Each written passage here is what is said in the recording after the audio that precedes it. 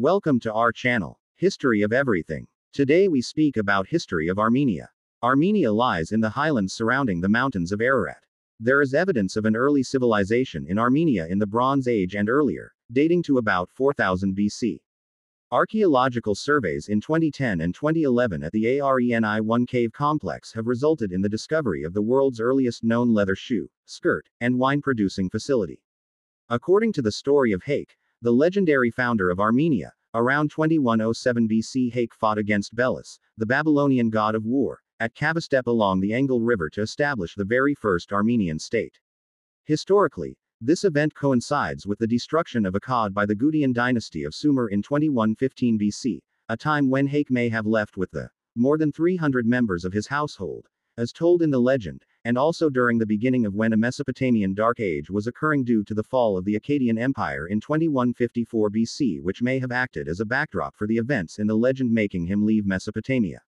Several Bronze Age cultures and states flourished in the area of Greater Armenia, including the Trialeti Vanadzor culture, Hayasa Azi, and Mitanni, located in southwestern historical Armenia, all of which are believed to have had Indo European populations. The Nairi Confederation and its successor, Urartu, successively established their sovereignty over the Armenian highlands. Each of the aforementioned nations and confederacies participated in the ethnogenesis of the Armenians. A large cuneiform lapidary inscription found in Yerevan established that the modern capital of Armenia was founded in the summer of 782 BC by King Argishti I. Yerevan is one of the world's oldest continuously inhabited cities. During the late 6th century BC, the first geographical entity that was called Armenia by neighboring populations was established under the Orontid dynasty within the Achaemenid Empire, as part of the latter's territories. The kingdom became fully sovereign from the sphere of influence of the Seleucid Empire in 190 BC under King Artaxias I and begun the rule of the Artaxiad dynasty. Armenia reached its height between 95 and 66 BC under Tigranes the Great, becoming the most powerful kingdom of its time east of the Roman Republic. In the next centuries, Armenia was in the Persian Empire's sphere of influence during the reign of Tiridates I, the founder of the Arsacid dynasty of Armenia, which itself was a branch of the Parthian Empire. Throughout its history, the Kingdom of Armenia enjoyed both periods of independence and periods of autonomy subject to contemporary empires. Its strategic location between two continents has subjected it to invasions by many peoples, including Assyria under Ashurbanipal, at around 669 to 627 BC. The boundaries of Assyria reached as far as Armenia and the Caucasus Mountains Medes, Achaemenid Empire, Greeks, Parthians, Romans, Sasanian Empire, Byzantine Empire, Arabs, Seljuk Empire, Mongols, Ottoman Empire, the successive Safavid, Afsharid, and Qajar dynasties of Iran, and the Russians. Religion in ancient Armenia was historically related to a set of beliefs that, in Persia, led to the emergence of Zoroastrianism. It particularly focused on the worship of Mithra and also included a pantheon of gods such as Aramazd, Vahan, Anahit, and Astghik. The country used the solar Armenian calendar, which consisted of 12 months. Christianity spread into the country as early as AD 40. Tiridates III of Armenia, 238 to 314, made Christianity the state religion in 301, partly in defiance of the Sasanian Empire. It seems, becoming the first officially Christian state, 10 years before the Roman Empire granted Christianity an official toleration. Under Galerius, and 36 years before Constantine the Great was baptized. Prior to this, during the latter part of the Parthian period, Armenia was a predominantly Zoroastrian country. After the fall of the Kingdom of Armenia in 428, most of Armenia was incorporated as a Marzpanate within the Sasanian Empire. Following the Battle of Avarayer in 451, Christian Armenians maintained their religion and Armenia gained autonomy. The Sassanid Empire was conquered by the Rashidun Caliphate in the mid 7th century, reuniting Armenian lands previously taken by the Byzantine Empire, and Armenia subsequently emerged as Armenia, an autonomous principality under the Umayyad Caliphate. The principality was ruled by the Prince of Armenia, and recognized by the Caliph and the Byzantine Emperor. It was part of the administrative division, Emirate Armenia created by the Arabs, which also included parts of Georgia and Caucasian Albania, and had its center in the Armenian city, Dvin.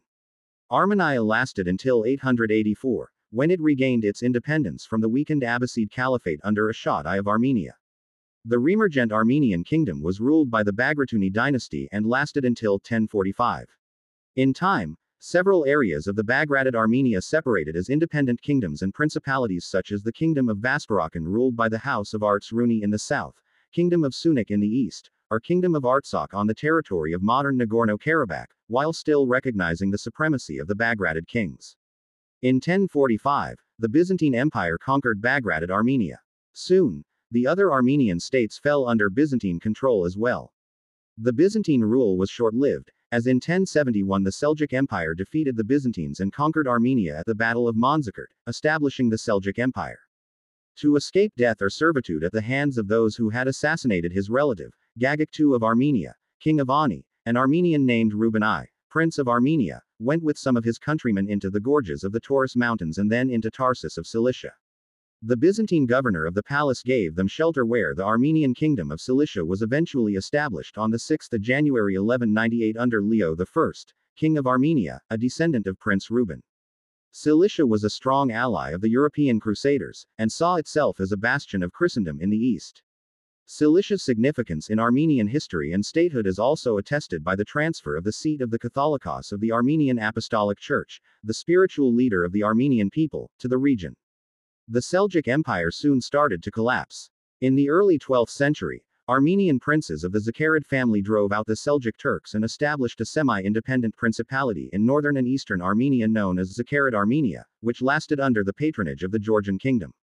The Orbelian dynasty shared control with the Zakharids in various parts of the country, especially in Syunik and Vayats Zor, while the House of Hassan Jalalian controlled provinces of Artsakh and Udik as the Kingdom of Artsakh.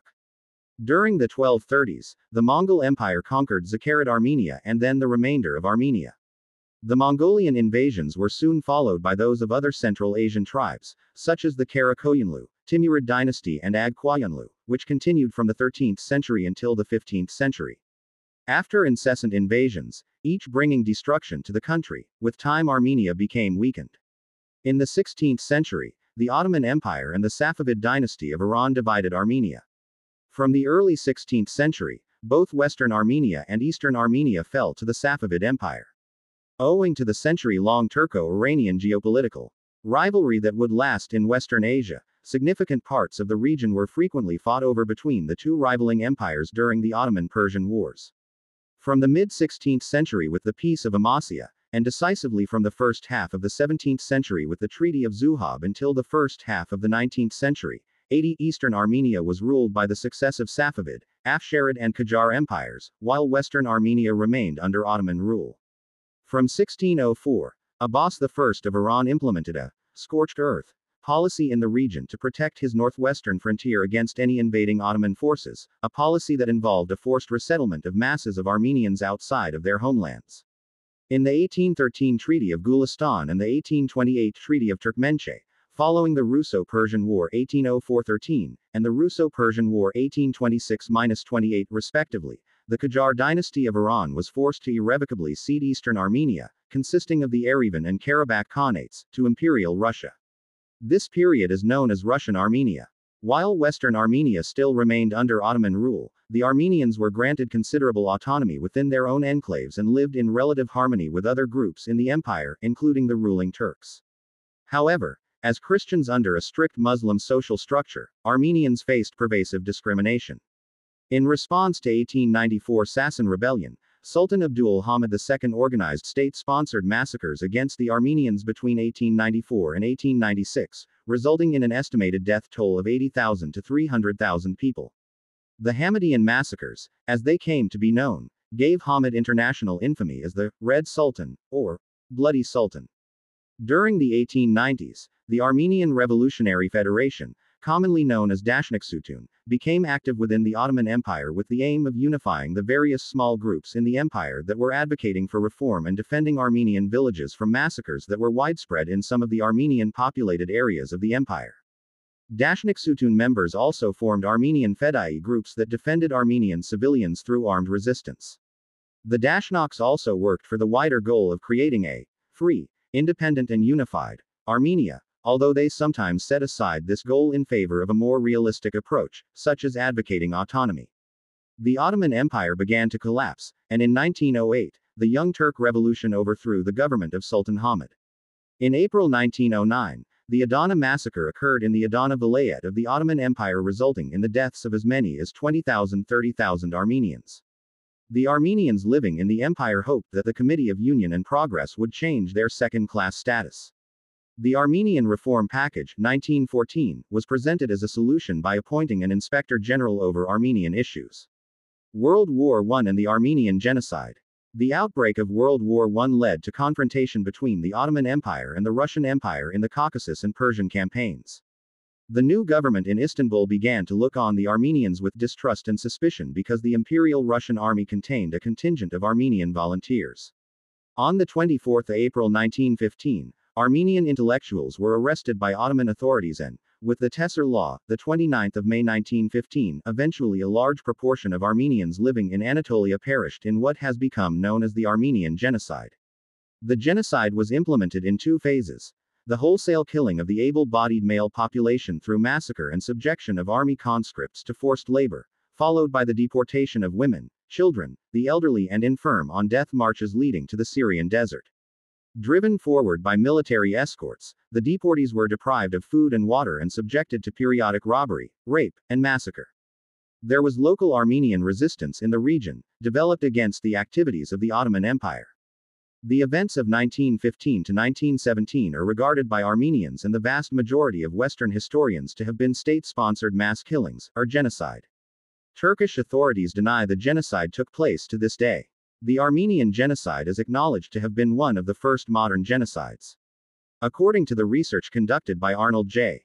Toynbee, an estimated 600,000 Armenians died during deportation from 1915 to 1916.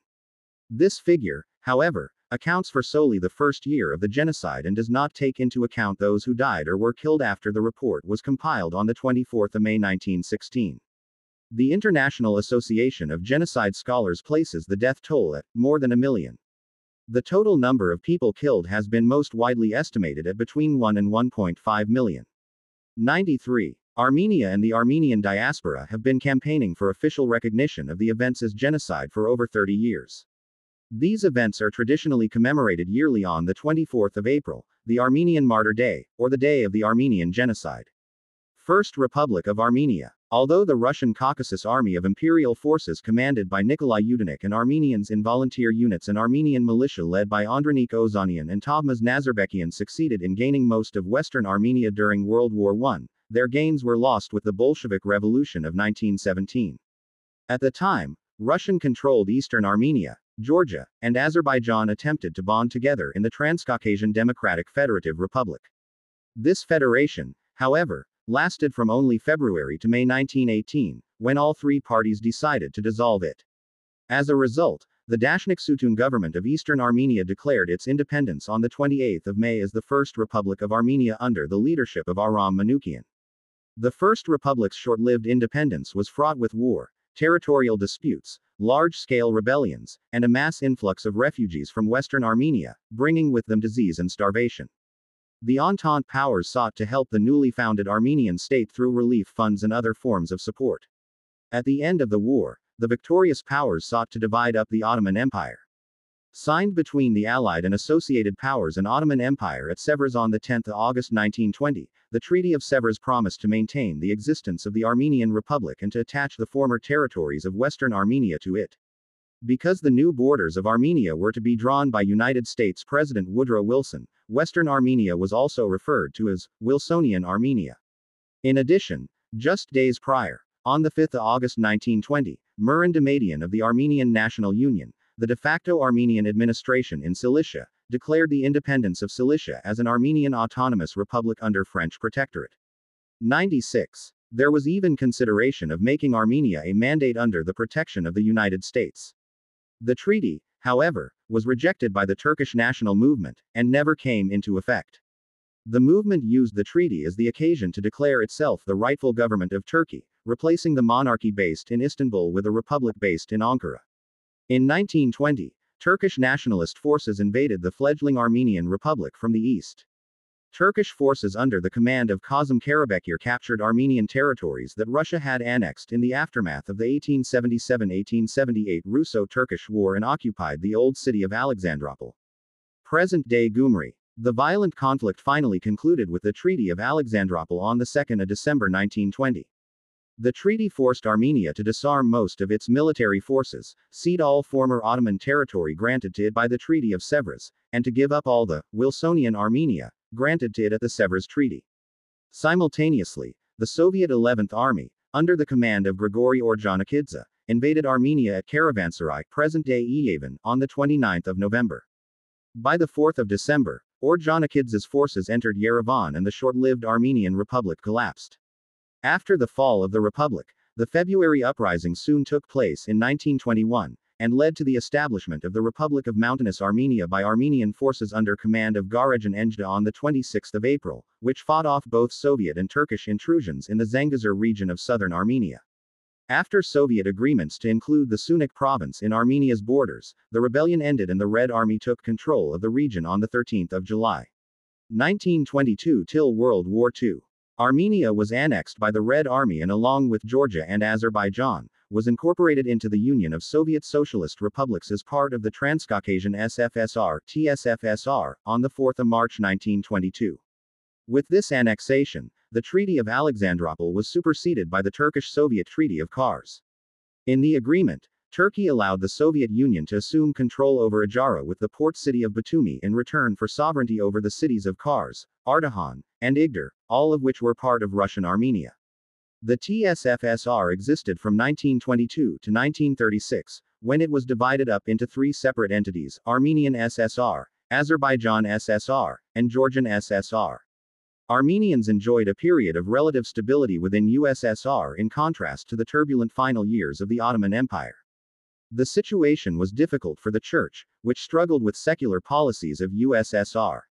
After the death of Vladimir Lenin, Joseph Stalin, the General Secretary of the Communist Party, gradually established himself as the dictator of the USSR. Stalin's reign was characterized by mass repressions that cost millions of lives all over the USSR. Citation needed. World War II. Post-Stalinist period. Armenia was not the scene of any battles in World War II. An estimated 500,000 Armenians, nearly a third of the population, served in the Red Army during the war, and 175,000 died. It is claimed by whom? That the Freedom Index in the region had seen an improvement after the death of Joseph Stalin in 1953 and the emergence of Nikita Khrushchev as the new General Secretary of the CPSU. Soon, life in Armenia's SSR began to see rapid improvement. The church, which was limited during the secretaryship of Stalin, was revived when Catholicos Vazgen assumed the duties of his office in 1955.